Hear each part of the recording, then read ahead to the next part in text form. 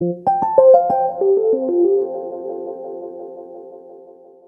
you really need to rebind? Let's see. You have an application, here is the UI. Behind the UI is the application code, a COBOL program with embedded SQL statements. And there's the target DB2 system. For all this to work in Synergy, you need to precompile, to compile, to link edit, and to bind. Let's examine this process a bit more in detail.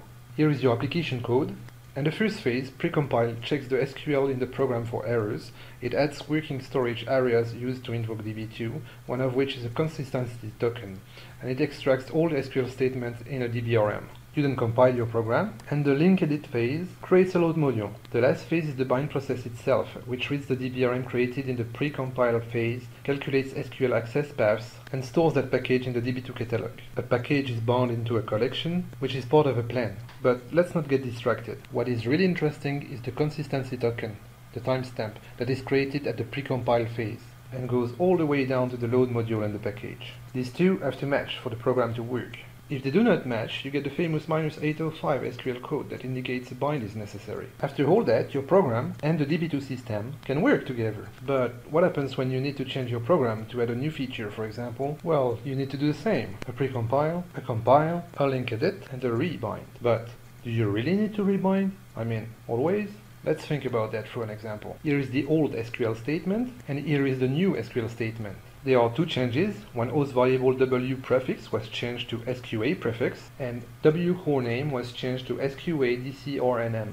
But the type and length of these host variables have not changed. In other words, the SQL statement is the same, just the name of two program variables changed. There is really no need to recalculate the access path, the old one should work perfectly. Yeah, but if you do want your new feature in the program, you have to compile it and that's going to create a new consistency token. And if you do not rebind, you get that minus 805. Hmm. So, would it be possible to change the tokens directly, avoiding a minus 805 and a rebind? The good news is that a tool exists, and it does exactly that.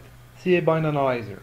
You will find in the user guide more details about the complete process, but in a nutshell, CA bind analyzer reduces the number of binds that must be performed. This eliminates the CPU and I.O. overhead associated with recalculating access paths. Less binds means less contention on the DB2 catalog, and well, sometimes a new access path generated by a rebind is not as optimal as the former one, and you would have preferred to keep your good old access path with predictable performance. In other words, CA Bind Analyzer helps you to reduce costs and to maintain your business SLAs. Find more about CA Bind Analyzer at ca.com.